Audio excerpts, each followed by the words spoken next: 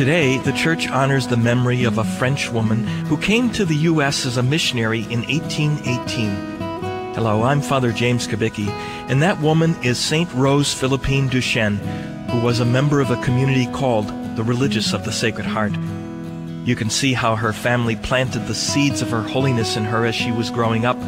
Her mother used to tell Rose and her siblings bedtime stories, and the stories she told were from the lives of the saints. Such stories probably stayed with her as she slept and dreamed, and the next day she and her brothers and sisters would act out the stories they had heard the night before.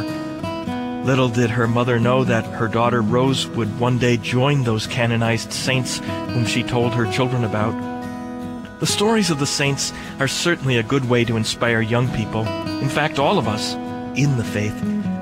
St. Rose Philippine once said, you may dazzle the mind with a thousand brilliant discoveries of natural science.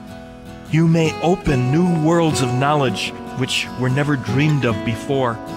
Yet, if you have not developed in the soul of the pupil strong habits of virtue which will sustain her in the struggle of life, you have not educated her, but only put in her hand a powerful instrument of self-destruction.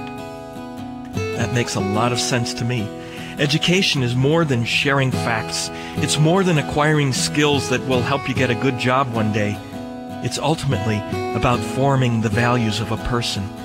Because without good and godly values, without virtues and wisdom, all the knowledge in the world won't help a person come to eternal life and could, on the contrary, become the means by which that person falls away from God.